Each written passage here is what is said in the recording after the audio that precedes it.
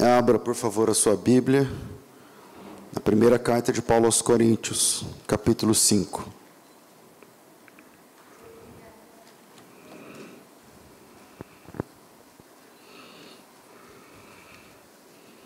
Ah, Obrigado.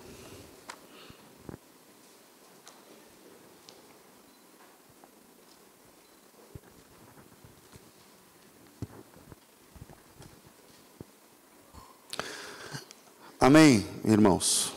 Primeira carta de Paulo aos Coríntios, capítulo 5, a leitura parece um pouco pesada no começo, mas eu não vou tratar do assunto do começo. Uma hora a gente. O assunto do começo é para um culto de quinta-feira. O texto diz assim: Geralmente se ouve que há entre vós imoralidade. E imoralidade tal que nem mesmo entre os gentios há, isso é, haver quem abuse da esposa do seu pai. Estais inchados, e nem ao mesmo vos entristecestes, para que fosse tirado do vosso meio quem cometeu tal ação. Eu, na verdade, ainda que ausente no corpo, mas presente no espírito, já determinei, como se estivesse presente, que o que tal ato praticou, em nome de nosso Senhor Jesus Cristo, juntos, vós e o meu espírito, pelo poder do nosso Senhor Jesus Cristo, seja entregue a Satanás para a destruição da carne, para que o espírito seja salvo no dia do Senhor Jesus. Não é boa a vossa jactância. Não sabeis que um pouco de fermento leveda toda a massa? Lançai fora o fermento velho, para que sejais uma nova massa, assim como sois sem fermento, porque Cristo, nossa Páscoa, foi sacrificado por nós. Pelo que celebremos a festa não com o fermento velho, nem com o fermento da maldade ou da malícia, mas com os asmos da sinceridade e da verdade. Amém. Eu disse agora há pouco que essa primeira parte é uma parte mais complicada e é um, um assunto para o culto de quinta-feira. Crente que tem interesse pelas coisas de Deus frequenta os cultos de ensino da igreja. Na nossa igreja, esse culto é o culto de quinta, o principal culto da semana, o principal culto de todos. E é, um dia de quinta-feira a gente pode tratar esse assunto mais com mais calma, né?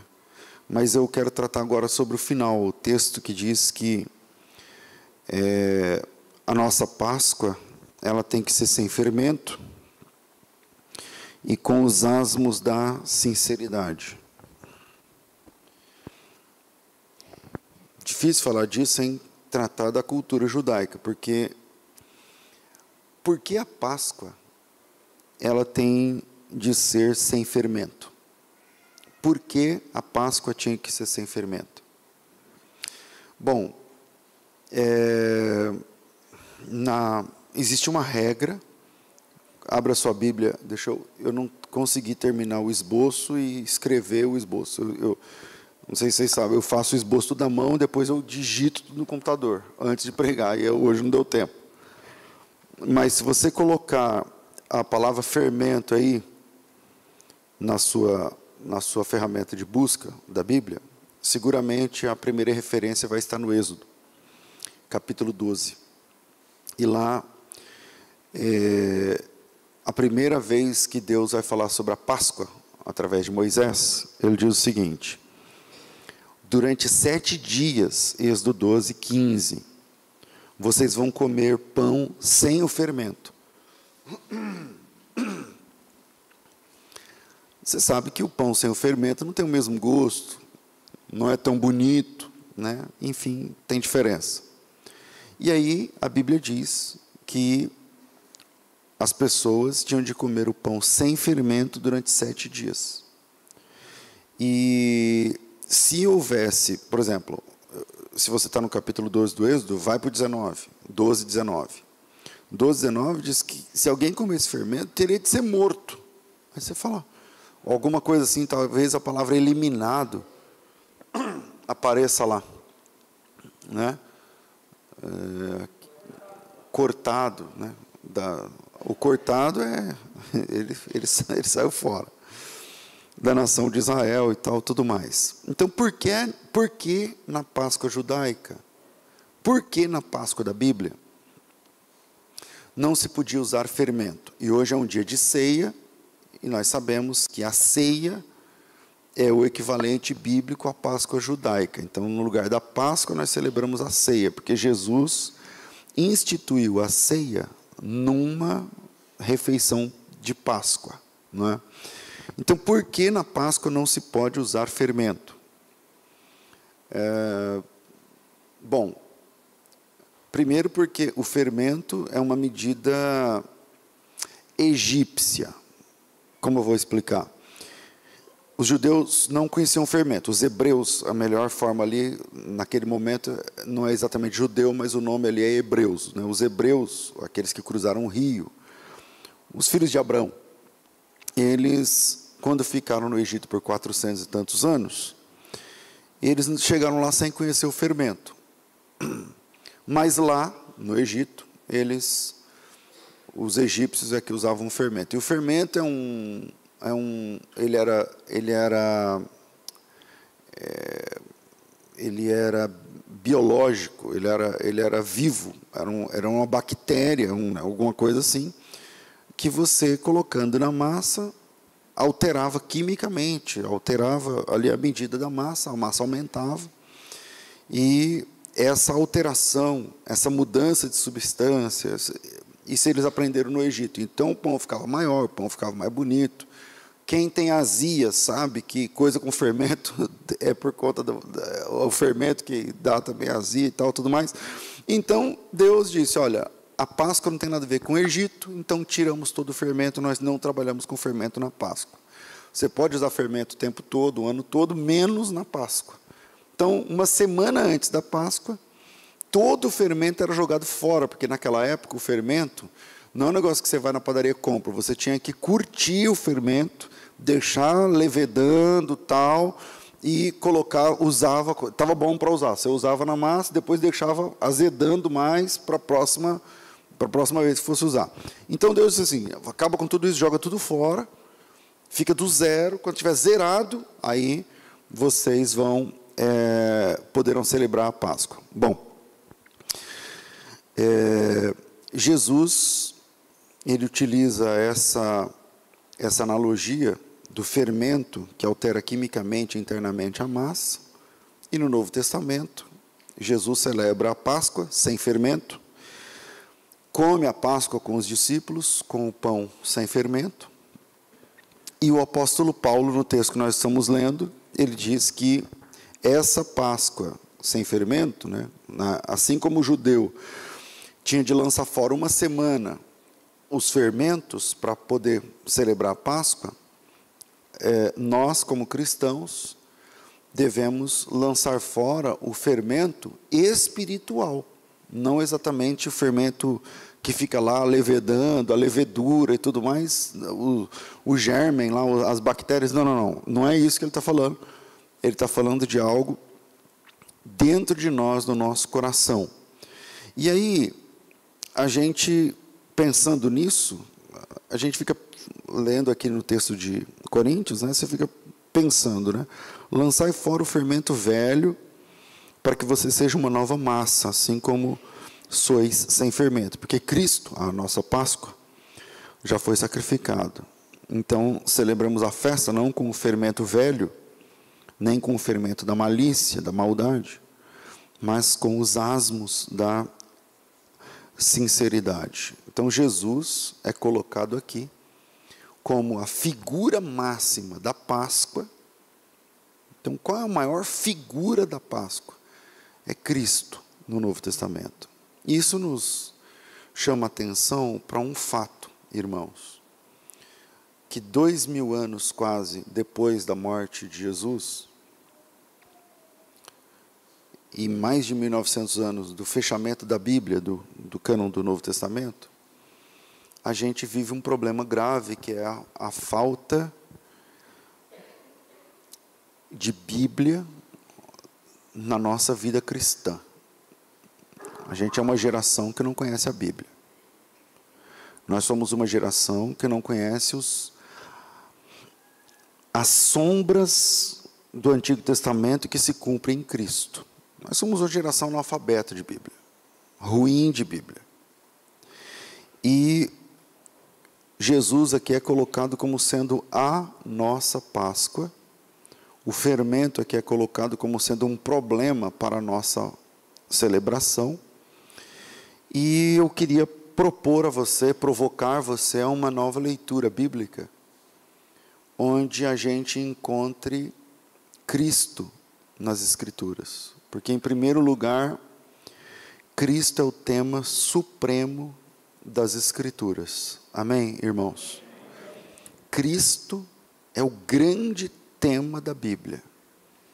A Bíblia tem um grande tema, um grande tema, e esse tema é o Senhor Jesus Cristo. Dias atrás eu falei aqui sobre João 7, João 7 não, João 5, 40, 39, 40, quando Jesus diz assim, João 5, 39, examinais as Escrituras, porque julgais ter nelas vida eterna, e são elas que testificam de mim. Jesus disse assim: vocês leem a Bíblia caçando vida eterna. Mas, na verdade, a Bíblia que vocês leem caçando o que vocês querem, essa Bíblia está falando de mim. Palavra de Jesus. Examinais as Escrituras, buscando ter nelas vida eterna, e são elas mesmas que apontam para mim. Essas Escrituras que vocês procuram vida eterna, elas estão falando de mim o tempo todo. Então, quando a gente está discutindo o tema, se o pão tem que ter ou não tem que ter fermento, quando a gente, diz, quando a gente lê um texto onde Cristo é a nossa Páscoa, e nós precisamos fazer festa com os asmos da sinceridade e sem o fermento dos fariseus ou do Egito ou tudo mais, do que é que a Bíblia está falando de verdade? De Cristo. Porque lá em João capítulo 6, versículo 49, Jesus diz assim: se o assunto é o pão com fermento ou sem fermento, vamos descobrir o que é verdadeiramente o assunto. João 6,49, Jesus diz assim: os vossos pais comeram o maná no deserto e morreram. Mas eu sou o pão vivo que desceu do céu. Este é o pão vivo que desceu do céu para que aquele que dele comer não morra. O que é o tema aí? Jesus. Assim como o maná, a palavra maná é uma expressão hebraica do hebraico antigo que significa que isso? Maná significa que isso? Quando o maná caiu a primeira vez, depois você vai ler lá, eu não lembro o texto, eu acho que é 16, né? Êxodo 16. 16 ou 14? 16, né? Acho que 14 é a promessa e 16 é o cumprimento. Quando cai o maná a primeira vez, o pessoal não entende o que é, caindo do céu, e eles começam a perguntar: o que é isso? O que é isso? E aí o nome pegou. A palavra que é isso em hebraico significa maná. É, é a palavra maná, para nós em português, significa isso. Que é justamente as expressões em hebraico de José e de Maria, quando vem a promessa da chegada de Jesus. Salve a graciada. E a Maria fala: O que é isso? Que expressão é essa? Lembra? O anjo Gabriel vai até José e fala: Não temas receber Maria. Então, e ele vem, fica pensando no que vem a ser isso. Essa frase já é o maná. E essa frase está apontando para o maná que vai descer do céu, aleluia, através da encarnação de Jesus, e vai tirar a fome do mundo. Então, quando Jesus disse: Os vossos pais comeram maná no deserto e morreram, mas eu sou o pão da vida que desce do céu, e quem comer desse pão jamais terá fome, quem, e tal, é porque Jesus, o maná está apontando verticalmente para Jesus. Quando a Bíblia diz que, é, sei lá, em Apocalipse 13, 8, né, fala do cordeiro, e ele apresenta um cordeiro sendo morto desde a fundação do mundo. Então, o que é a fundação do mundo? Quando o mundo é fundado, quando né, você tem o primeiro casal, na fundação do mundo, você tem seis dias criativos, e no sexto dia criativo tem o casal. Tem o Adão, e na sequência, é, é, Deus faz a Eva. E aí eles pecam. Eles pecam. E quando eles pecam, a primeira, a primeira coisa que acontece na sequência é que eles perceberam que eles estavam nus. E aí a gente vai lá para Gênesis 3, 21, onde a Bíblia diz que Deus fez uma roupa, uma forma de cobrir a nudez de Adão e Eva, usando peles. E o Senhor fez, o Senhor Deus Adão, a sua mulher, túnicas, roupas de pele. De pele do quê? De qual animal que dá para fazer roupa? De qual animal que tem uma pele, que tem uma, uma condição de tecer uma túnica? O que tem a lã é o, é o cordeiro. Por isso, em Apocalipse capítulo 13, versículo 8, diz que esse cordeiro que foi morto na fundação do mundo, para prover e tapar a vergonha do casal, esse cordeiro estava apontando para Cristo. Porque Cristo é o tema supremo das Escrituras. Jesus disse isso. Vocês leem a Bíblia querendo buscar nela a vida eterna, mas ela está falando de mim. A Bíblia está falando de mim, disse Jesus. O tempo todo, em todo o tempo, a Bíblia está apontando para mim. Quando a Bíblia diz que Jesus é imagem e semelhança, que nós somos imagem e semelhança de Deus, acho que eu falei sobre isso num culto de quinta. Quando a Bíblia diz que nós somos imagem e semelhança de Deus, a teologia fica discutindo se imagem e semelhança que ah não é, tem a ver com o caráter tem a ver com não sei o que lá mas a Bíblia diz lá em 1 de Pedro que Jesus é o Cordeiro morto antes da fundação do mundo e manifesto nesses últimos tempos por amor de vós. Quer dizer que o plano da encarnação, de o Verbo se fazer carne, é anterior ao plano da criação do mundo. Quer dizer que quando Deus disse haja luz, o plano da encarnação do Cristo já era antigo. E se o plano da encarnação do Cristo já era antigo, a forma na qual ele viria, também já foi decidido anteriormente. É por isso que quando Deus fez do pó da terra o primeiro homem, ele já tinha um paradigma. E quem era esse paradigma? Jesus. Nós somos a imagem e semelhança de Deus graças a Jesus. E a partir daí, todas as histórias da Bíblia, todas, todas, todas. Não sei se você entendeu todas as histórias, todas, todas as histórias da Bíblia estão de alguma forma apontando para Cristo. Pode ser que eu não tenha competência, e é fato, eu não tenho, de chegar em cada história e falar assim: ah, é aqui, está apontando a Cristo. É aqui, é, é agora, é, é, nesse momento. É essa palavra grega, é essa palavra hebraica, é esse detalhe.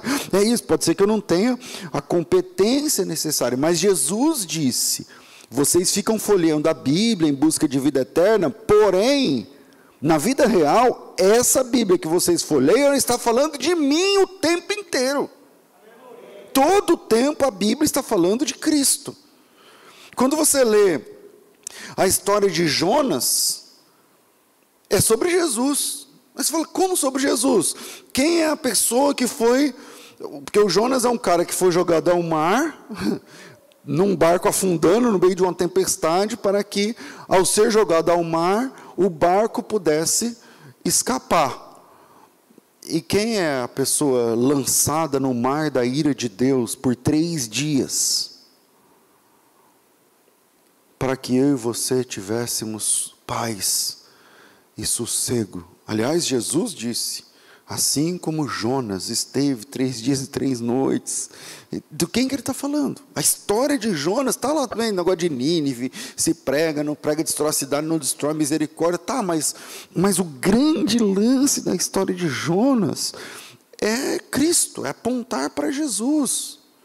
Quando você lê histórias da Bíblia que parecem, sei lá, tipo a, a Radassa, que entrou num concurso de Miss Universo, para quem ganhasse o concurso ia casar com o rei, e não sei o que lá, e tal, tal. O nome dela depois vira Esther, e, e tudo mais. Eh, ali tá, eh, não é sobre concurso de beleza, não é sobre, é sobre Cristo, porque quem, quem, depois de três dias, enfrenta a presença do Rei Supremo, numa audiência que coloca em jogo a existência de todas as pessoas. Nós estamos falando de quem agora? De Cristo, que depois de três dias subiu aos céus e assentou-se à destra de Deus, como Esther fez. A Bíblia está o tempo todo falando de Jesus. Quando fala de Abel, é porque está apontando para outro inocente que derrama o seu sangue, depois logo derrama o sangue ao oferecer um sacrifício perfeito. Por que, que o Abel foi morto? Por causa de um sacrifício perfeito que Deus aceitou. E a Bíblia diz lá em Hebreus que o sangue de Abel clama até hoje, através de quem? Quando a Bíblia fala de Abraão, a Bíblia está falando de alguém que é chamado para deixar o conforto, para deixar o conforto e se tornar nômade, obedecendo o Pai e iniciar um novo povo de Deus. Ele está falando de Jesus. Quando a Bíblia fala de Isaac, o filho prometido anteriormente, e que depois de nascido foi pedido pelo mesmo Deus que prometeu para ser oferecido num, uh, em cima de um monte, está falando de Jesus. Quando fala que, aliás, essa o apóstolo Paulo explica, que aquela rocha era Cristo, lá em Coríntios capítulo 10, a rocha era Cristo, tinha uma rocha espiritual que o seguia, e disse Paulo que aquela rocha era Cristo. Ele está falando da rocha ferida de Meribá. E qual é a, a, a semelhança de uma rocha e Cristo? Porque Cristo também recebeu o golpe da vara de Deus, e ao receber esse golpe, jorrou água para todos os povos, oferecendo salvação. Quando o cara enfiou a lança em Jesus, o que é que saiu também? Água. Ele é a rocha ferida de Meribá. Quando a Bíblia fala de, de qualquer personagem, de qualquer história, sabe, a gente lê a Bíblia e a gente tem a tendência de nos colocarmos, especialmente nas, especialmente nas, nos personagens centrais, né? A Bíblia, quando fala de Daniel, pronto, você é o Daniel. Então, mas não é isso não. O Daniel está apontando para Jesus. O José teve uma ou duas pregações que eu usei José e a figura de Cristo em José, no ponto a ponto ali, não sei se vocês se lembram, né?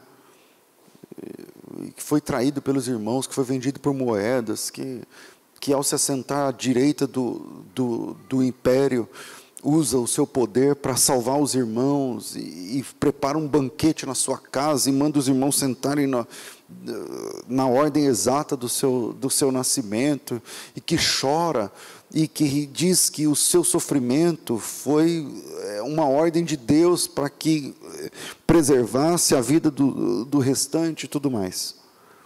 E aí agora a gente se depara com um texto, eu já tenho que parar porque tem batismo, ceia e tudo mais, né? Onde Jesus é a nossa Páscoa. Onde Jesus é a nossa Páscoa. Como eu já disse aqui para vocês em outras oportunidades, acerca dos, da Páscoa judaica, né? como é que funcionava a Páscoa judaica e tudo mais, eu vou tentar mostrar para vocês é, uma figura importante dentro da Páscoa judaica. E por que, que nós, a nossa Páscoa tem que ser sem fermento? E quando a Bíblia fala de Páscoa sem fermento, do que é que ela está falando mesmo? E para a gente ir para a nossa ceia, e hoje ainda tem batismo e tudo mais. Quando você pega é, uma ferramenta de busca da Bíblia e coloca lá, é, sei lá, abre aspas, mão poderosa. Faz isso. Abre, a sua, abre uma ferramenta de busca aí e coloca lá a palavra mão poderosa. Vou tentar mostrar para vocês. Para mim aqui apareceu 14 referências. Essas referências, tipo assim, eu vou falar mais mais uma, então essa aqui tem 14 e vou falar outra. A outra referência, você pode colocar braço estendido.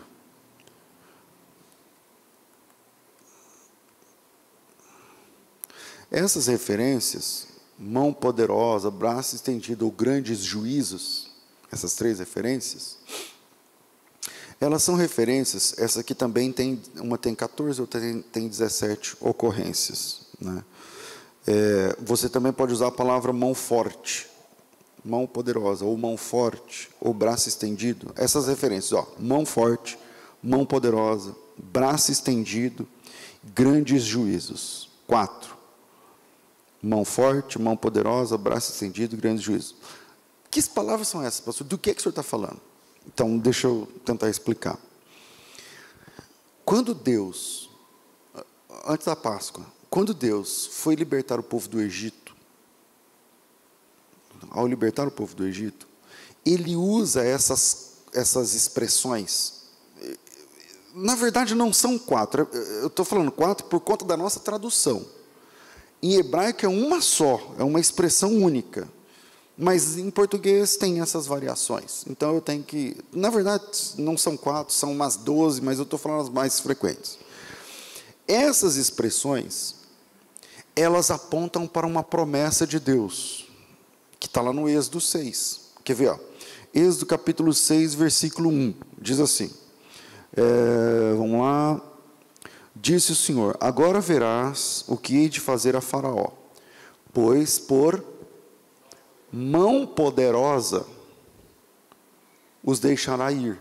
Sim, por uma mão poderosa os lançará dessa terra. E aí você fala assim: o que é mão poderosa? Né? Do que, ele está falando quando ele fala sobre, sobre mão poderosa? Né? Ele está ele tá falando sobre uma mão poderosa, um braço estendido e um grande poder. Mão poderosa, braço estendido e grande poder. E essas frases, essas falas, elas são uma constante na Bíblia. Tipo, o tempo todo. Por exemplo, é, lá em. Vamos lá. É, Reis, segundo livro dos Reis, 17, 36, ó. Mas o Senhor os fez subir da terra do Egito com grande poder, braço estendido, um grande poder, braço estendido. É as duas das frases que eu falei para vocês. Né? É, segundo livro dos Reis, 17, 36. É, que mais? Segundo livro das Crônicas, 6, 32 também é o estrangeiro que não for teu povo de Israel, porém vier de terras remotas, por amor do teu grande nome, por causa da tua mão poderosa, do teu braço estendido e tudo mais, está aí no texto. É, Jeremias, Jeremias 21, 5. Pelejarei contra vós outros com o meu braço estendido, com a minha mão poderosa, com o meu grande poder. o, o, o que eu estou tentando mostrar para vocês é que existe um padrão nas Escrituras. Existe um padrão nas Escrituras onde essas frases aparecem o tempo todo. Sei lá, Jeremias 32, 21. Tiraste o povo da terra do Egito com sinais e maravilhas, com tua mão poderosa, com o teu braço estendido e com grande espanto. É, sei lá, Ezequiel 20. Estou dando trabalho para vocês aí, né? Ezequiel 20, 33. É, peraí, perdi aqui o Ezequiel. Ezequiel 20, 33. Tão certo como eu vivo, diz o Senhor, com a mão poderosa, com o braço estendido, cheio de furor, eu hei de reinar sobre vocês existe um padrão. Quando você percebe isso no texto hebraico, é uma única frase, existe um padrão. Versículo 34, 20 e 34. Vos tirarei de entre os povos e vos congregarei das terras nas quais vocês andam espalhados, e farei isso com mão forte, com braço estendido e com indignação derramada, ou cheio, cheio de furor, ou coisa parecida. Ou você trabalha, sei lá, com Deuteronômio, Deuteronômio capítulo, capítulo 4, é, versículo 33 e versículo 34. Vamos lá, 4 e 33. Ele diz assim: eu vou ler o 32 para efeito de contexto. Agora, pergunta, desde os tempos passados que te precederam, desde os dias em que Deus criou o homem sobre a terra, desde a extremidade do céu a outra, se já aconteceu, ou se sucedeu jamais, coisa tamanha como esta. Ou se você já ouviu falar coisa como esta, se algum povo já ouviu falar a voz de algum Deus do meio do fogo, como ouviste, e continuaram vivos, ou se um Deus intentou tomar para si um povo do meio de outro povo, com provas, com sinais, com milagres, com peleja, com mão poderosa, com braço estendido e com grandes espantos. Olha, na verdade, tem mais de uma centena de textos como esse, começando em Êxodo e indo até o Novo Testamento. Essa frase, ela é uma ela é uma frase, ela é uma palavra código que aponta para uma coisa muito maior. Então, toda vez que você vê na Bíblia mão forte, mão poderosa, braço estendido, grandes juízos, é porque ele está falando de alguma coisa muito maior do que apenas o livramento do Egito. Por exemplo, eu li, eu li aqui para vocês em Ezequiel 20, Ezequiel 20, para quem conhece o básico do básico do básico da Bíblia, sabe que Ezequiel, Ezequiel capítulo 20 está muito depois do Êxodo. Não está tratando exatamente do Êxodo. Mas quando você lê, vamos de novo lá, Ezequiel capítulo 20, versículo 33. Tão certo como eu vivo, diz Deus, o Senhor, que com mão poderosa, com braço estendido, derramado furor, eu hei de reinar sobre vocês. Ele não está mais falando lá do, lá do que aconteceu no Egito. Ele está colocando no futuro. Quer dizer que aquilo que aconteceu no Egito vai voltar a acontecer. Que Deus, mais uma vez, com mão poderosa, com braço estendido e com grande juízo, há de reinar sobre todos um dia. Então, existe um padrão. Consegui mostrar para vocês que existe um padrão? Tudo bem? Ok. É, agora vamos lá no Êxodo capítulo 6 e vamos ver como esse padrão funciona? Esse padrão funciona da seguinte forma: na Páscoa judaica, todos os judeus comemoram a Páscoa celebrando as quatro promessas de Deus. A gente leu o Êxodo 6, versículo 1, mas tem que ir até o versículo 6 agora. Disse o Senhor a Moisés: Agora verás o que hei de fazer a Faraó, pois por mão poderosa os deixará ir. Sim, por mão poderosa os lançará fora da sua terra. Grava aí, mão poderosa, a primeira vez. E aí ele vai falar, versículo 2: Eu sou o Senhor, é, eu apareci a Abraão, Isaac e Jacó como Deus Todo-Poderoso, mas pelo meu nome não fui conhecido. Também estabeleci a minha aliança com eles para dar-lhes a terra de Canaã, a terra que habitam como peregrinos, habitaram como peregrinos. Agora, ainda ouvi os gemidos dos filhos de Israel, os quais os egípcios escravizam, e me lembrei da minha aliança. E aqui no versículo 6 começa as quatro promessas da Páscoa. A Páscoa judaica tem quatro promessas, que eram celebrados com quatro cálices, conforme já ensinei aqui. E as quatro promessas são: primeiro, eu sou o Senhor que vos tirarei de debaixo das cargas dos egípcios. Em outras palavras, vocês não vão trabalhar mais como escravos. Eu vou livrar vocês debaixo da carga do Egito. Segunda promessa: vos livrarei da sua servidão. Vocês não apenas não vão trabalhar como escravos, mas vocês não vão mais ser escravos. E terceira promessa, essa, essa, essa palavra código que eu estou falando, vos resgatarei com braço estendido e grandes juízos. Outra versão, é, grandes manifestações de poder, tem várias variantes aí. Né? Mas o que eu gosto é o texto hebraico vai dizer: Vos resgatarei com braço estendido e grandes juízos. E última promessa: Eu vos tomarei por meu povo e eu serei o vosso Deus. Bom, é por isso que lá no Êxodo, Êxodo não, é por isso que lá em Ezequiel, capítulo 20, versículo 33, ele diz assim, ó: Tão certo como eu vivo, com mão poderosa e braço estendido e cheio de poder, eu hei de reinar sobre vocês. Quer dizer que o reino de Deus, presta atenção, o reino de Deus, a, o, o sensus plenior do reino de Deus tem a ver com a mão poderosa e o braço estendido de Deus. E lá no texto de João, no capítulo 19, no versículo 28, 29, quando Jesus está na cruz, esse texto ganha o seu ápice. Porque Jesus na cruz, ele já tinha participado de dois cálices, e aí ele diz: Tenho sede. Eu estou citando o texto de cor, mas não sei se é esse. É. Depois disso, sabendo Jesus que já todas as coisas estavam terminadas, mas para que se cumprisse a escritura, disse: Tenho sede. Estava ali um vaso cheio de vinagre, encheram de vinagre uma esponja, e apondo no sopo, chegaram lá na boca. E quando Jesus tomou o vinagre, ele disse: Está consumado. E, inclinando a cabeça, entregou o Espírito. Quando Jesus tomou esse último vinho, o vinho azedo, o vinagre, ele estava com os braços estendidos, sendo ele o cumpridor dessas centenas de textos, dos quais eu apresentei dezenas, mas são centenas por conta do nosso tempo. Então, todos esses textos que falam eu vou tomar você por meu povo, você, você vai ser meu, eu vou ser seu Deus, você vai ser meu povo, eu vou tirar você da escravidão, eu vou libertar você de debaixo da carga do Egito, eu vou trazer você e congregar num único lugar.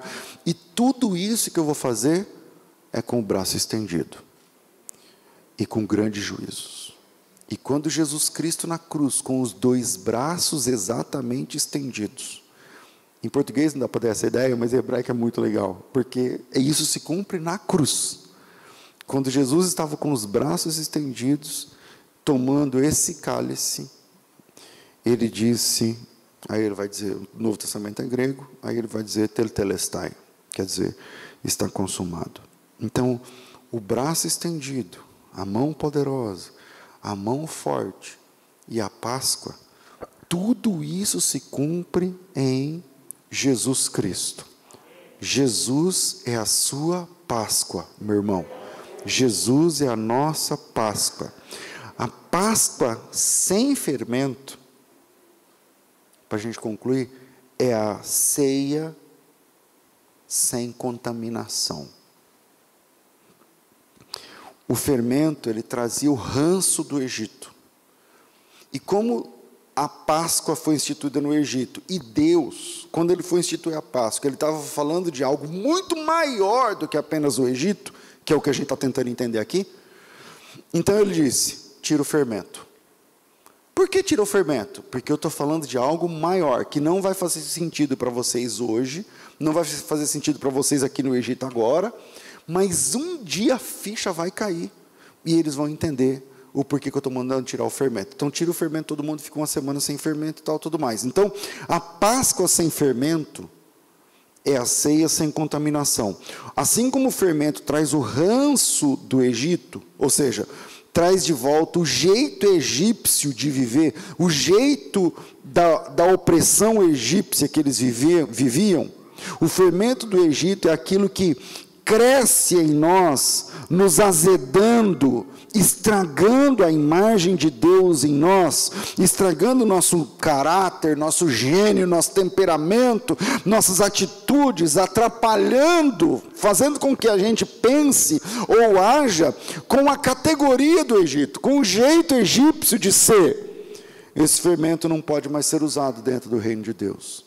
E, o apóstolo Paulo fala que quando nós aceitamos Cristo, nós somos novas criaturas.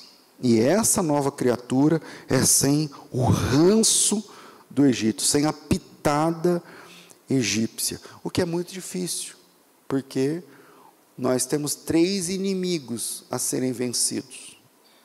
Você e eu temos três inimigos para vencer: o mundo, a carne e o diabo. Então, se você venceu o mundo, ah, o mundo não me apetece mais. Tudo bem, ainda você tem a sua própria natureza para lutar contra. E como se não bastasse, ainda tem o Satanás, que quer também te derrubar. Então você tem que lutar contra o mundo, contra a carne e contra o diabo. E se você tiver dentro de você o ranço, o fermento do Egito, você não consegue vencer nem sua carne, nem o mundo e nem o diabo. Não tem a mínima condição. Por isso o apóstolo Paulo diz o seguinte: gente, Cristo é a nossa Páscoa. Ele é o nosso pão. Ele é o maná, ele é o pão vivo que desceu do céu. E ele veio sem fermento. Quando a Bíblia diz que Jesus é o maná, né? o maná aponta para Jesus. O maná caía com fermento ou sem? Sem fermento. A, a fermentação é invenção lá do Egito. O maná caía sem fermento. O pão é asmo. O pão, já viu aqueles pães, pães né, de, de, de judeu e tudo mais? É sem fermento. Quando a Bíblia diz que o pão é sem fermento, ele está dizendo que Cristo é isento do jeito mundano de ser. Ele é o nosso modelo. Ele é o nosso modelo máximo. Então, quando a Bíblia chama eu e você para participar dessa Páscoa, sem o fermento e com os asmos da sinceridade, ele está dizendo que eu não preciso do mundo para crescer, eu não preciso do mundo para alcançar o que Deus espera que eu alcance. Eu não preciso do. Existe outro jeito de crescer, existe outro jeito de subir sem se estragar internamente, e esse jeito é através do Evangelho. Existem duas formas de lidar com a vida com o fermento do mundo ou com os asmos da sinceridade. E o apóstolo Paulo está dizendo o seguinte: depois de explicar um problema grave na igreja, ele diz assim: Irmãos, lancem fora o fermento velho, para que vocês sejam uma nova massa, assim como sois, sem fermento, porque Cristo, a nossa Páscoa, foi sacrificado por nós pelo que celebremos a festa, não com fermento velho, nem com fermento da maldade ou da malícia, mas com os asmos da sinceridade e da verdade. Então, joga fora tudo que não diz respeito ao reino de Deus, joga fora tudo que não diz respeito ao jeito cristão de agir ou de reagir. E aí você vai ter força para perdoar, você vai ter força para pedir perdão, você, porque a falta de perdoar ou de pedir perdão é fermento do Egito. E o fermento do Egito crescendo em nós nos atrapalha de sermos conforme a imagem e semelhança de Deus, que é o propósito inicial do dia que você foi feito por Deus. Mas quando você joga fora, quando você abre mão, existem dois jeitos de ser gente: o jeito com fermento e o jeito sem fermento. Com fermento, é sendo igual todo mundo é, pagando na mesma moeda, o nosso coração é cheio de adultério, de mentira, de engano, de passar perna no outro, de blasfêmia. Aí você abre mão disso e diz assim: tá, eu preciso de outro jeito de ser gente. Como que eu faço? E o Evangelho responde: então você precisa morrer para esse mundo. Porque se você quer viver sem o fermento, você precisa morrer para esse mundo e nascer para Cristo. E quando você morre para o mundo e nasce para Cristo, aí você vai participar da verdadeira Páscoa, que é Cristo. E você vai participar da verdadeira ceia, que é o corpo e o sangue de Jesus. Que Deus abençoe vocês em nome do Senhor Jesus.